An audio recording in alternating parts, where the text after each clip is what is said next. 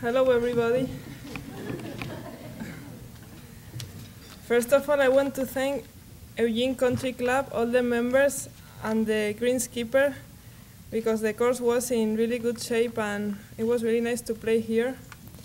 I want to thank also University of Oregon and all the staff for, for putting on the, the tournament.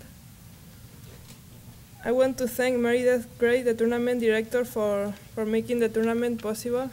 It was, it's always great to, to play Pac-10 championships. And then I, I want to thank my, my team and my coaches.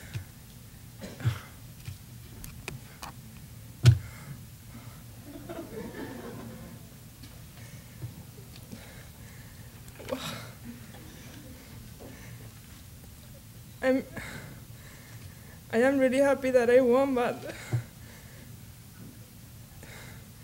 it wasn't the same because I just love when we won by teams and you guys couldn't play.